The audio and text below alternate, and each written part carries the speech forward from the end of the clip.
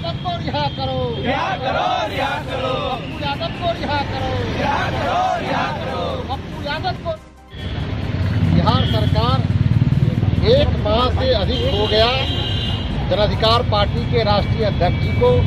एक ऐसे हल्के मामले में इतने दिनों तक जेल में बंद रखी हुई है जिसकी कोई आवश्यकता नहीं है।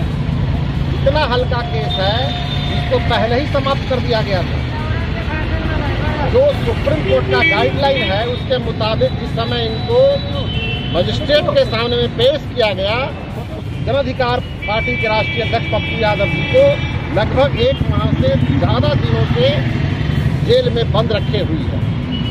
उनका इल्ज़ाम क्या था? उनका इल्ज़ाम यही था कि बिहार सरकार जब कोविड के मरीजों का ठीक से इंतज़ाम नहीं कर रही थी, उनके इलाज व्यवस्था की तो अस्पतालों में जा रहे थे।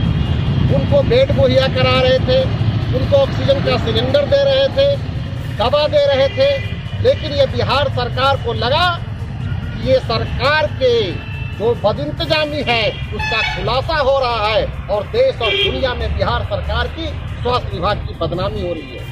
भारतीय जनता पार्टी को ये लगा कि हमारे जो सांसद हैं, वो एंबुलेंस घोटाला किए हुए हैं। फर्जी तरीके से एंबुलेंस चलवाते हैं और करोड़ों रुपया पैसा सरकार का गबन किए हुए हैं। इन सब चीज़ों का जब उजागर हुआ तो सरकार इससे बौरा करके, सरकार इससे घबरा करके हमारे नेता को गिरफ़्तार किए हुए हम बिहार सरकार से मांग करते हैं कि अविलंब हमारे नेता पप्पू यादव जी की बिना शर्त रिहा किया जाए, ताकि फिर से हम लोग जनता के मुद्दों को लेकर के सड़क पर बढ़िया से उठा सके। हम महामहिम राष्ट्रपति महोदय को भी बिहार के एक करोड़ लोगों का हस्ताक्षर भेज रहे हैं।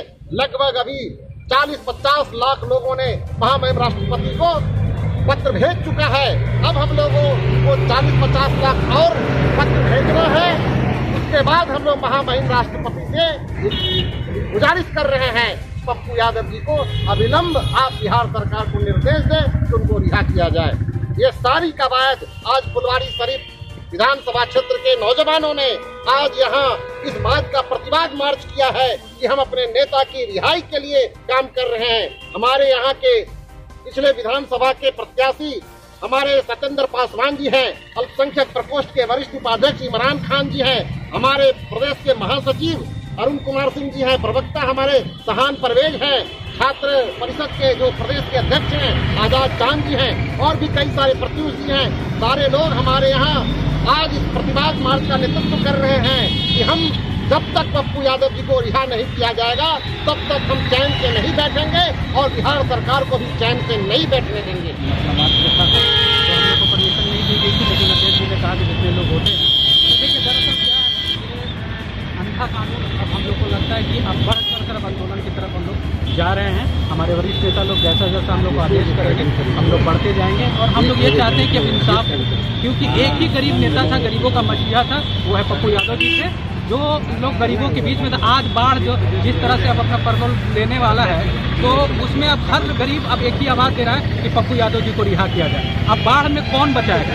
एक ही आदमी जो बचाने वाला था, हर पूरा वर्ल्ड और पूरा हिंदुस्तान जान रहा है कि बाढ़ में कोई एक नेता रोड पर था और गरीबों के बीच में था तो वो पप्पू यादव जी थे। तो आज गरीबों ने फिर से आवाज़ लगाना स्टार्ट कर दिया है कि पप्पू यादव जी को जल्द से जल्द रिहा कराया जाए और फिर उसको, उनको ठीक किया जाए। देखिए, हम लोग इसमें बढ़ चढ़ कर भी आंदोलन की तरफ़ अब बढ़ रहे हैं। अगर जितना जल्दी इंसाफ नहीं मिलेगा तो हम लोग और भी कोई बड़ा बिहार के सेवादार हैं और सेवा करने का काम किया है।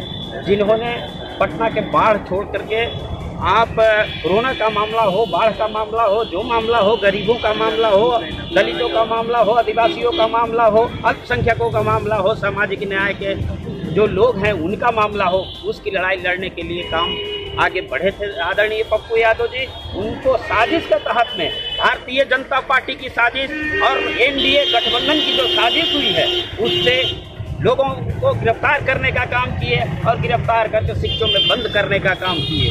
हम कहना चाहते हैं सरकार के लोगों से भी और चेतावनी देना चाहते हैं कि आदरणीय पप्पू यादव जी को बंद करने से करने से न तो सामाजिक न्याय के संघर्ष के साथ ही रुकेंगे और न उनके पार्टी के लोग रुकेंगे। निश्चित तौर से आगे बढ़ेंगे।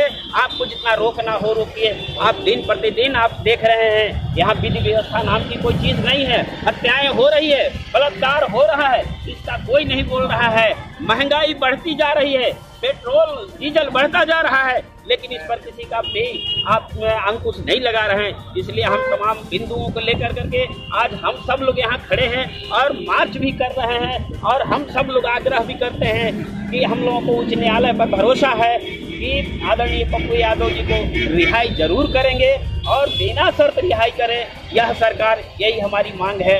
और आप सब लोगों की भी कामना है, जो जितना पत्रकार बंधु आए हैं, हम तमाम लोगों को शुभकामना देते हैं इस संघर्ष में सहयोग करने के लिए और आगे बढ़ने के लिए। और हम लोगों की आवाज़ को जो दबाना चाहती है बिहार सरकार, निरंकुश सरकार, बहरी सरकार, गुंगी सरकार, इस निरंकुश सरकार के खिलाफ में आवाज़ को बुलंद करने के लिए हम तमाम लोगों को आप साथ देने का काम करिए। जय हिंद।